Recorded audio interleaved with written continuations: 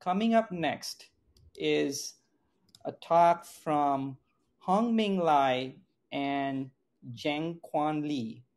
The title of the talk is Efficient Support of TVM ScanOp on RISC-V Vector Extension. Hung-Ming is a graduate student at the Department of Computer Science at National Tsing Hua University, Taiwan.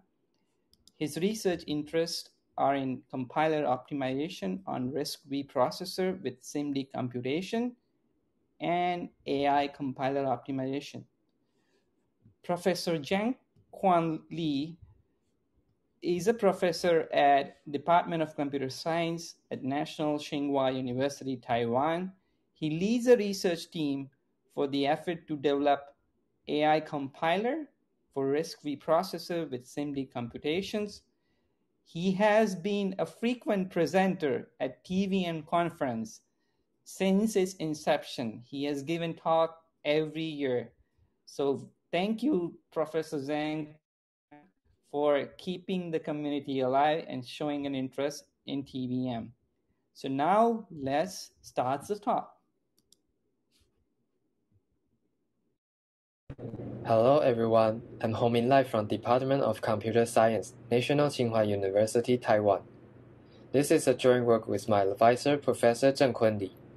Today I'm going to talk about efficient support of TVM scan OP on RISC-V vector extension. Our prior work are related to supporting TVM on RISC-V extension.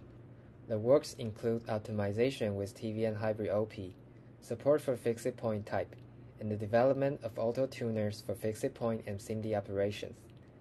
These works enable efficient deep learning inference on RISC-V based embedded systems and DSPs. In this work, we focus on utilizing RISC-V vector extension, or RVV, the vector register length is RVV is implementation defined, which is supported by its vector length agnostic programming model. The program running on it can automatically scale across different implementations. RVV is also capable of grouping multiple registers together to form a longer vector register that is useful for highly parallel workloads. The scan operator in TVM is an operator that performs computation along a specific axis.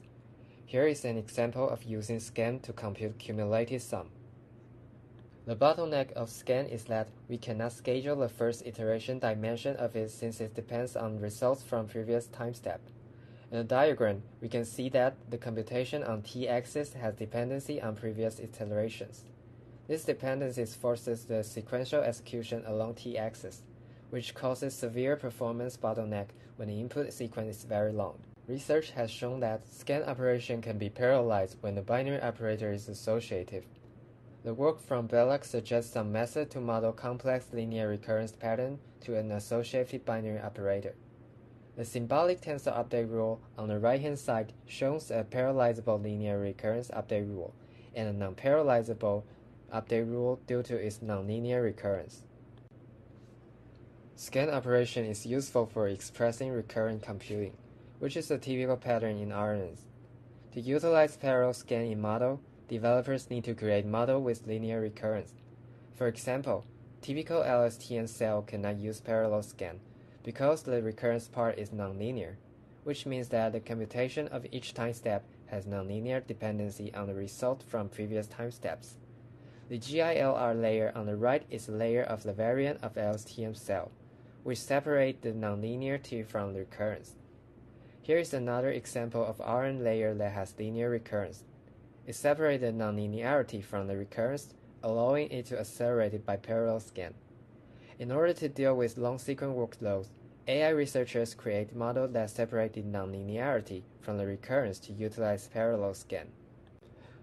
We implemented our support of the parallel scan on TVM with the external tensor function. The key component of our implementation is a C module that computes the parallel scan using RVV intrinsic API.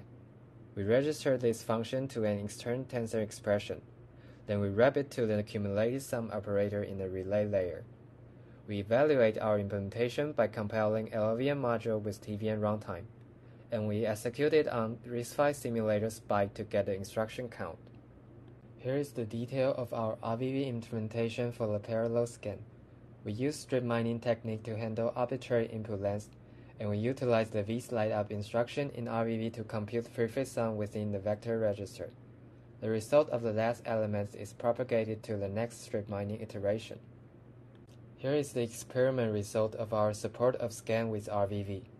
For 32-bit unsigned integer, we can achieve up to 20 times speedup comparing to the default schedule. For 8-bit unsigned integer, we can achieve up to 70 times speedup. Note that it is because the default schedule requires 100 times of iterations than the RVV version. The speedup is highly scalable with respect to the number of elements that can fit inside a vector register. To summary this talk, we implement parallel scan with RVV intrinsic to address bottlenecks in scan operator of TVM. We evaluate the parallel scan by measuring the instruction count on RISC-V simulator. Recurrent model can utilize parallel scan when the recurrence satisfies certain constraint. For the future works, we will add analysis of the symbolic tensor update rule to determine if the scan OP can be lowered to parallel scan. And we will also work on adding support of parallel scan for general linear recurrence, such as matrix multiplication. Finally, we want to test the effectiveness of the parallel scan on more real-world models. That's all for my talk. Thank you for listening. Thank you, Hung-Ming and Jenq-Kuen, for sharing with us how the TVM is being used to enable this support. I have a question here. I have been curious to understand Given how multiple vector registers grouping is supported by RISC-V, do you foresee the TVM's tuning capability could be leveraged to find the best grouping for a given op in real-world models? Oh, thank you for the question. For the vector multiple grouping mechanism in RISC-V, we have done some research on the uh, register allocation part. But for our TVM scan OP support, we for now we only support the uh, using LMUL to 8 on the uh, custom TOPI. So for now, we have not very general support of finding the best LMUL. Thank you. one more question that keeps coming at the back of my mind is that we saw an evolution from x86 to ARM, which was power efficient, and whereby we saw a lot of devices deployed with ARM, uh, low power one. Professor Quan, can you shed the foresight about how do you see the RISC-V processor getting deployed in comparison to x86 and ARM in the future? Uh, it, it looks like because uh, sometimes you have the backward compatibility problem with the Mali code. So it looks like the server side uh, might be easy for RISC-V or RISC-V to uh, penetrate the market and uh, because the architecture is new and they don't have a lot of uh, backward compatible issues and we want a lot of uh, uh, uh, density with the instruction set.